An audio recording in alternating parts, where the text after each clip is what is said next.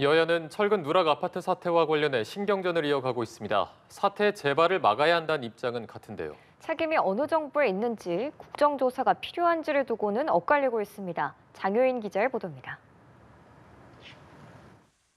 여야는 LH 발주 아파트의 지하 주차장 철근 누락 사태의 재발을 막아야 한다고 한 목소리를 냈습니다.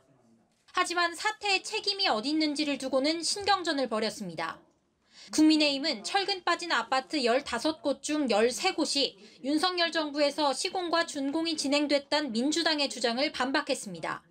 준공 이전에 감리라든지 이런 것들이 훨씬 더 건축물 안전에 중요 준공을 언제 했는 그 시기를 가지고 책임이 아니라고 주장하는 것은 공감을 얻기가 어려울 것으로 생각합니다.